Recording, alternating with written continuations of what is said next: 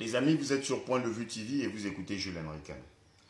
Je ne vais pas aller long dans mon propos, je vais parler de ce qu'il y a de plus important.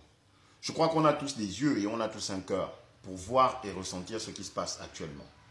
Aujourd'hui, il y a un problème qui touche tous les Gabonais, un problème qui s'étend au niveau national tout entier. Mais c'est un problème derrière lequel on a l'impression que notre président de la transition, ou du moins le chef de l'État, est impuissant. Et je me pose la question de savoir comment est-ce possible Pourquoi cela? Est-ce parce que les responsables de la SEG et le président de la transition sont-ils copains et coquins? C'est pour ça que les Gabonais doivent subir ce que la SEG est en train de faire subir au peuple gabonais actuellement? Parce que moi j'ai l'impression que tout va de pair. Hein. On vit la dictature du côté des autorités, on vit la torture du côté de la SEG. Et le chef de l'État ainsi que tous ses collaborateurs ne font rien pour remédier au problème. Je ne connais pas actuellement un coin du Gabon où les Gabonais ne se plaignent pas de la situation énergétique et de la distribution d'eau. Quand on nous coupe le courant, c'est autre chose. Tant mieux. Parce que de toutes les façons, la lumière, on peut s'en procurer même avec une lampe tempête. Mais de l'eau, l'eau, un besoin de première nécessité. Monsieur Briscotter Olivier, que se passe-t-il?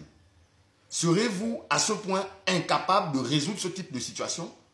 Serez-vous à ce point la personne qu'il ne faut pas la place où vous êtes Parce que très franchement, je ne vois pas ce qui vous empêche, vous, de frapper du poing sur la table pour que la SCG résout le problème actuel que nous connaissons. Dans toutes les provinces du Gabon, dans tous les chefs-lieux du Gabon, dans tous les chefs-lieux de département, les Gabonais manquent d'eau et manquent d'électricité. Alors que chaque fin de mois, on paye des factures d'électricité, on paye des factures d'eau. Pourquoi? Pourquoi la SCG a-t-elle le droit d'agir impunément sans que personne ne leur demande des comptes, sans que personne ne leur mette dos contre mur afin qu'ils cessent d'agir de cette façon? Les amis, c'est Jules Henriquem sur Point de Vue TV pour s'adresser aux autorités de la transition et notamment au président de la transition lui-même en personne. Parce que c'est lui qui prétend se soucier du bien-être des Gabonais. Et voilà un bien-être primaire et primordial auquel aucun Gabonais n'a accès et il ne dit rien. Il ne fait rien. Parce que j'irais même jusqu'à dire qu'au temps d'Ali Bongo, on connaissait des problèmes avec la SEG, mais ce n'était pas aussi récurrent. En ce moment, c'est grave. Alors, commentez, likez, abonnez-vous et surtout partagez. Commentez les amis, c'est très important. C'est Jules Henriquem, vous êtes sur Point de Vue TV.